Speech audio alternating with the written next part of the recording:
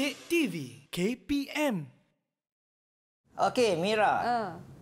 Cukai pintu, cukai tanah. Wah. Apakah itu cukai pintu tanah? Takkan pintu pun kena cukai. Takkan tanah kena cukai. Ha, alright. Tak apa, cikgu terangkan. Mm-mm. Alright. Okey, cukai pintu. Mm-mm. Cukai pintu bukan maksud pintu kena cukai. Okey, Pin, cukai pintu ni ialah merujuk kepada sesiapa sahaja yang ada rumah, ada kedai, okey, ada bangunan komersial, okey, ataupun even tanah kosong pun, Mm-mm. mereka akan dikenakan cukai tanah. Okey. Jadi kenapa cukai dikenakan? Siapa yang kutip? Ha, cukai ini dikutip oleh pihak berkuasa tempatan. Mm-hmm. Contoh Majlis Bandaran Puncak, uh, Majlis Bandaran Kuala Selangor, mm-hmm. Majlis Bandaran Shah Alam. Okay? Ha, itulah. Kenapa mereka kutip cukai ini? Untuk mengutip sampah, bersih longkang, buat landscape, ha, baiki lampu jalan. Ha, itulah gunanya.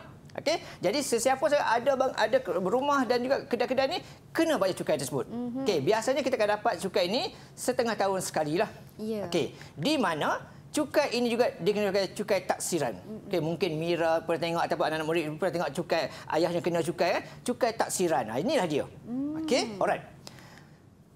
Pengiraannya. Okey. Tengok contoh soalan.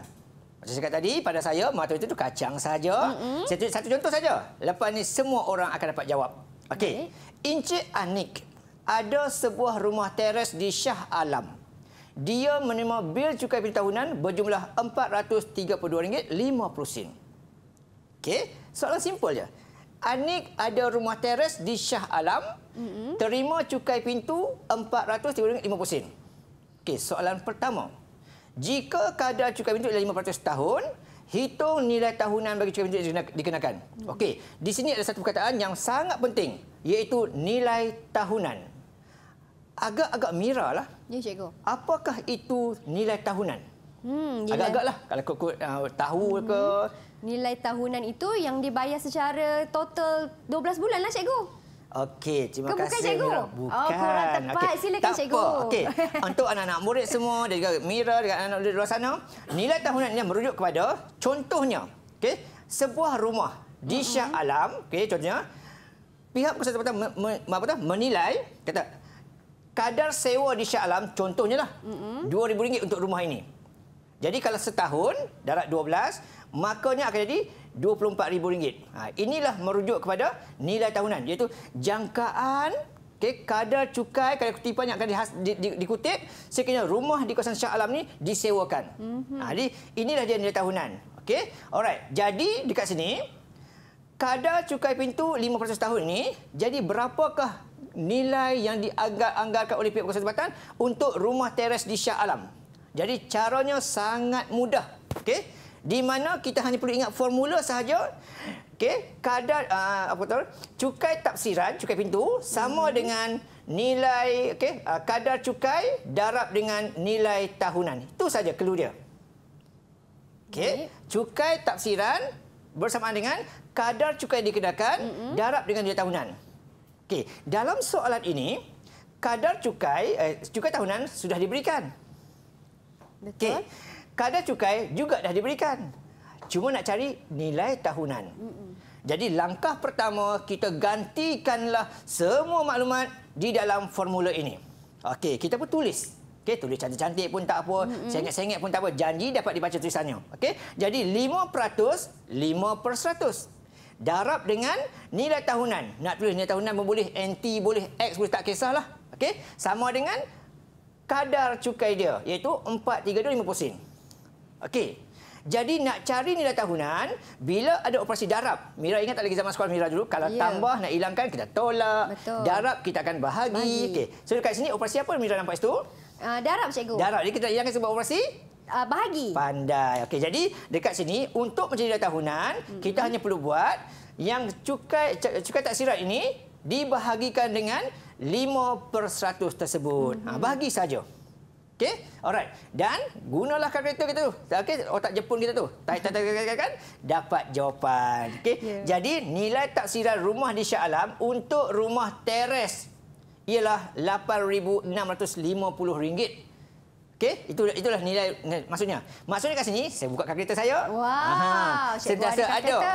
Okey. Mm -hmm. Alright. Jadi dekat sini secara umumnya kita boleh katakan harga sewaan rumah di Shah Alam bagi rumah teres ialah 8650 dibahagi 12. Dia biasanya sini dia men, me, apa, menganggarkan sebuah rumah teres di Shah Alam boleh disewakan dengan harga RM720 sebulan. Hmm. Ha, jadi kalau setahun 8650. Bila 8650 ni kena cukai 5% sahaja. Hmm. Ha, okey, alright.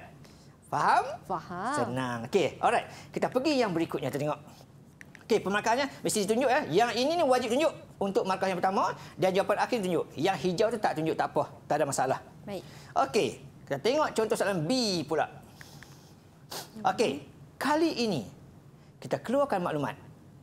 Masih ayat yang sama, okey, tetapi untuk yang B ini nilai tahunan ialah 5460. Dia beri nilai tahunan NT di sini. Dan soalan minta kata hitung kadar cukai. Okey, kadar cukai yang cari.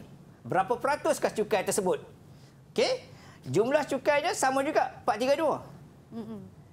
Jadi macam kita nak buat ni.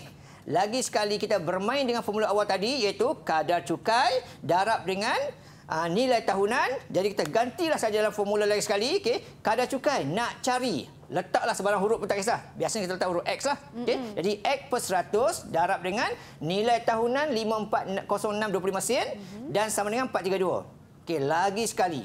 Okey, kita nak hilangkan pindah pindah pindah memindah pindah mm -hmm. memindah pastikan mahir sebab yeah. ada pelajar yang tersilap pindah Habis jawapan salah, dapat ya. lain. Mm -hmm. Okey, jadi di sini saya pindahkan. Saya pindahkan ini dulu. Sama juga operasi darab jadikan bahagi. Okey, dapat begitu mula-mula. Dan bila dibahagikan dapat 0.08. Untuk mencari peratus, kadar cukai dalam peratus. Untuk mencari peratus, darablah dengan 100.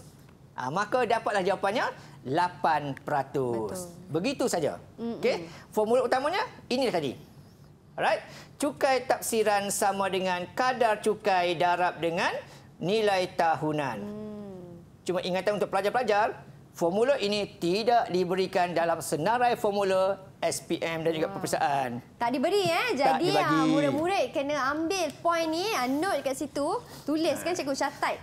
Ha, Tapi sebab soalan senang saja kacang hmm. lepa kata lagu tu. Ha. Okey. Kacang tak anak murid kat luar sana? Kat Google Meet kacang kacang ke tak? Kacang ke tak? Kacang hangguk kepala. Kalau hangguk tak hangguk, kita cek tengok pemahaman mereka. Okey. Okay. Mari kita, kita tengok soalan yang kedua. Mm-hmm. Okey, soalan yang kedua ya. Okey. Ha, itu soalan dia. Okey, Puan Wikineswari mempunyai sebuah rumah teras tingkat di Cemor yang berada di bawah penyelidikan Majlis Bandaraya Ipoh. Okey, itu maklumat utama. Okey. MBI, itu Majlis Bandaraya Ipoh, mentaksirkan nilai tahunan rumah teras tingkat di Cemor adalah RM11,760 dan kadar cukai dikenakan ialah 2.8% setahun. Hitung bayaran cukai pintu dikenakan kepada Puan Wikineswari bagi tempoh Julai hingga Disember. Okey, saya bantu anak-anak di luar sana, okey, keluarkan maklumat dahulu supaya mengurangkan risiko silap mengeluarkan maklumat. Okey, yang pertama sekali ialah sana. Nilai tahunan, okey, nilai tahunannya ialah 11760. Ingat kepala, NT-nya adalah 1760. Mm -mm. Yang kedua, kadar cukainya ialah 2.8. Yang soalan minta ialah cari bayaran cukai pintu. Hmm. Nak cari city, okey. Jadi city di mana? Okey, city di mana? Ah, city kena cari kadar kadar cukai darab dengan nilai tahunan. Okey. Hmm. Kadar cukai dah dibagi. Nilai tahunan dah dibagi. Nak cari city. City tang mana? City tang mana? Ah, ha. depa kena cari. Okey, depa kena cari. Okey. Alright. So, langkah pertama keluarkan maklumat. Okey, gantilah formula tu. Itulah tadi kadar cukai 2.8% darab dengan nilai tahunan 11,760 mm-hmm. sambunglah ke bawah tu. Mm-hmm. Okey, sambung ke bawah tu. Alright. Okey, murid-murid di Google Meet sana. Nampak macam excited nak cuba jawab kan? Okey. Bila gunakan kereta? Okey, dapat jawapan begini. 32928. Okey, nak tanya kamu semua. Adakah ini merupakan jawapan anda? Jadi ini soalannya. Adakah ha. ini jawapan anda? Oh, Okey. tu. Faik eh, Faik Gele, Amr ya, Gele, okey, Amr Haziq Gele. Habis itu apa jawapan sebetulnya? Cuba terangkan sikit kepada saya dan juga Kak Mira kat sini. Uh-uh. Apa jawapan sebetulnya? Okey. Okey, Faik okay, Faris. Faik Faris. Angkan. Silakan. Uh, jawapannya RM164.64. Kenapa ya Pak? Ah, sebab kena bahagi dua. Sebab waktu dia Julai hingga Disember. Bukannya Januari hingga Disember. So kita kena bahagi dua. Okey, terbaik otak makan kismis selalu. ha, okey. Betul. Okey, di sini Hebat. yang kita cari ni ialah untuk setahun. Okey, setahun. Okey, tu saya buruk. Ha, setahun. Uh-uh. Tapi soalan minta Julai hingga Disember. Okey, ada enam bulan sahaja. Betul. Setengah tahun. Ha, that's why lah kena dibahagikan dengan dua. Okey, tahniah untuk Faik Faris. Okey, anda semua bagus. Ya. Baik cikgu. Okey. Seterusnya. Seterusnya. Tadi cukai ta- cukai tanah, okey, mm-hmm. cukai pi- sorry, cukai pintu, kan nak pergi buat cukai tanah. Ini pun tak payahlah. Cerita sama tadi, okey. Mm-hmm. Mesti berpusing-pusing dengan formula tadi. Alright? Terlaju sikit dengan tu. Sama juga. 3.5%, okey, kemudian cukainya dibagi 581. Mm-hmm. Nak cari NT. Macam soalan pertama tadi kan? Okey, jadi langkau-langkau pindah-pindah pastikan dapat jawapan dia. Okey? Alright. Begitulah je cara. Okey, semuanya bermula dekat sini bermain dengan formula-formula ini saja. Ya. Okey. Cukai pintu Mira faham? Faham cikgu? Nak pergi cukai tanah. Sekarang kita masuk ke cukai tanah Ah, pula. Cukai tanah, okey. Dari tanah kita bermula ke tanah juga kita pergi lepas tu. Okey. Okey. Cukai tanah pun sama juga. Mm-hmm. Diberikan, dikenakan kepada semua pemilik tanah. Siapa saja ada tanah, sama ada tanah untuk pertanian, tanah untuk bina rumah, tanah untuk buat bangunan industri apa tu, semua kena cukai. Mm-hmm. Okey? Alright. Di mana, okey, cukai ini dinamakan sebagai sewa bawah Seksyen 5 Kanun Tanah Negara 1965. Okey, dikutip oleh Pejabat Tanah dan Galian lah. Ha, macam sekali kali. Untuk orang duduk rumah bangunan tinggi, Mm-mm. Depa kena cukai dah. Sebab depa duduk tinggi, tak ada tanah pun. Kena cikgu. Mesti kena. Kena Habis, adil. Cukai apa? Ha, kalau macam tu, Mira rasa ni cukai kotak nama dia cikgu. Oh, cukai kotak. Pandai sangat Mira ni kan? Betul ke, cikgu? Cukai petak, Mira. Cukai petak. Cukai petak. Okey. Alright. Sesiapa saya. yang tinggal di bangunan tinggi, kondominium, apartmen, pangsapuri, okey, mereka tak ada tanah. Tapi mereka tetap kena cukai juga. Uh-huh. Namanya adalah cukai petak. Oh. Cukai petak, okey. Kena juga. Okey. Okey. Terus direct the point. Mm-mm. Macam mana nak kira? Senang. Sama macam cukai tadi. Di mana syaratnya ialah untuk cukai tanah, formulanya ialah kadar cukai darab dengan luas tanah. Itu yang formula dia. Hmm. Okey, kadar cukai darab dengan luas tanah yang dia ada. Okey. Contoh Puan Saadiah. Dia ada sebuah rumah yang dibina di kawasan keluasannya 1375 meter persegi. Di mana dikatakan kawasan tersebut setiap luas tanah tersebut dikenakan 48 sen bagi setiap meter persegi. Okey, jadinya ini adalah kadar cukai tanah. Ini adalah keluasan tanah tersebut. Jadi darab sahaja mm-hmm. dapat jawapan. Okey? Sangat senang, very easy kata orang. Okey? Alright. Okay. So, uh, yang ini kena tunjuklah dalam kerja ni. Kemudian dapat ini. Cumanya macam kata tadi, berhati-hati sebab soalan minta kata dia nak Januari hingga Jun saja. Mm-hmm. Okey? Jadi anak-anak saya ingatkan dekat sini, bila menjawab soalan exam ke exam tengah tahun ke exam, uh, SPM khususnya, bila menjawab tu pastikan jawab ikut soalan mintanya apa. Betul. Okey? Di sini soalan minta cari Januari hingga Jun, enam bulan saja. Sedangkan kita cari awal tadi ni untuk tempoh setahun. Ya, 12 Okey? bulan. Jadi bahagi dua dulu. Mm-hmm. Jadi dapatlah bayarnya adalah sebanyak RM330. Ya. Apa sekalipun bendanya simple dan sempoi saja, ingat formula ini semuanya beres sahaja. Ya. Okey, anak-anak di luar sana, nak tanya, nak test, nak uji kamu semua faham tak faham tentang cukai tanah ni? Okey, lihat soalan yang berikutnya. Okey, tentang ini atas tak baca tak apa. Cari keyword-keyword dia. Iaitu dia kata tu tanah pertanian, uh, sorry, tanah perumahan 25 sen. Okey, tanah pertanian 18 sen. Mm-hmm. Dan tanah industri 45 sen. Cari keyword tu je. Okey, kemudian dia kata sini. Soalan pertama, Encik Goh ni mm-hmm. dia ada tanah perindustrian. Keluar dah beritahu dah. Baik. Okey, di mana jumlah cukai setengah tahun. Okey, cukai setengah tahun 315. Mm-mm. Berapa luas tanah dia? Ha, Okey, jadi bermainlah dengan formula tadi lagi sekali, okey, iaitu uh, cukai tanah sama dengan kadar cukai darab dengan luas tanah. Okey, mm-hmm. kali ini kadar cukai ada, tahu dah 40 sen. Cukai tanah pun tahu dah, iaitu uh, 315. Cuma kena hati-hati sini kenapa Mira agak-agak? Ha, Kerana kerana, ini merujuk kepada setengah, Setengah tahun. tahun. Mm-hmm. Formula ini untuk setahun. Jadi nak macam mana buat setahun? Darabkan dengan Dua. dua. Okey, jadi kita tulis lagi tu. Okey, darab dengan dua bahagi dengan nilai bagi setiap meter persegi. Okey, jadi dapat jawapan. Mm-hmm. Alright.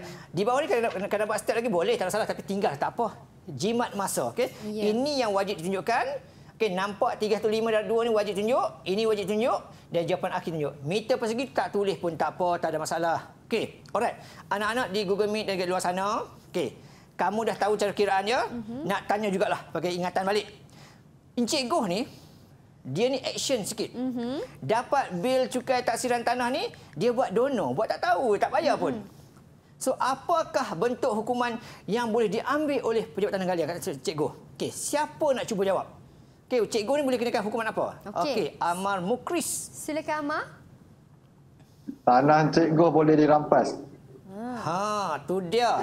Betul. Tanah boleh dirampas. Okey? Betul. Terima kasih Amar Mukris. Okey? Cakap pun macam pegawai tanah tanah tu. Okey? Alright. Bila tak bayar cukai ni, mula-mula sekali ialah kena surat amaran dulu. Mm-hmm. Tapi ini kan dia langsung tak buat bayaran apa-apa. Dia buat dono ya. Mm-hmm. Jadi memang patut tanah dia dirampas. Okey? Ya. So senang je kan bagian ni?